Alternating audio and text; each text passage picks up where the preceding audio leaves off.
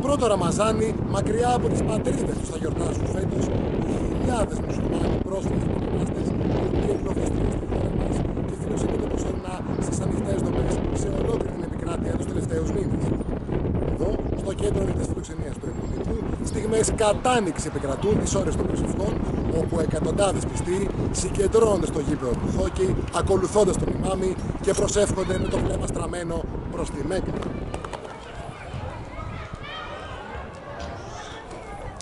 Η προσευχή τελείται πέντε φορέ την ημέρα, ενώ καθ' όλη τη διάρκεια τη εορτή οι πιστοί τρώνε συγκεκριμένα γεύματα όπω κουρμάδε, κυρίω μετά τη δύση του ηλίου.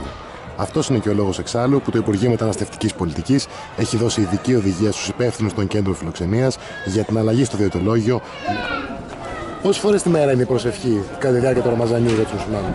दिन में कितनी मरतबा अ, आप लोग इबादत करते हैं Five martaba. पेंदे फरस Πέντε φορέ.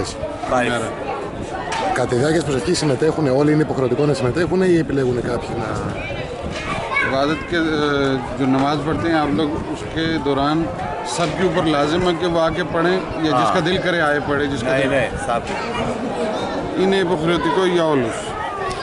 Αυτή η προσευχή τι περιεχόμενο έχει, Είναι κάποια έκφραση πίστη στο Θεό του, Είναι κάποια επίκληση για κάτι, ζητούν उसके κάτι. अंदर क्या पढ़ते हैं आप लोग उसमें क्या पढ़ा जाता है वो जो अल्लाह की तरफ है मेरे जुबान में आता है वो कलीमा ये मुबारक है वो हम Αυτό που είναι στη γλώσσα για να βοη- ζητήσουμε βοήθεια από τον Θεό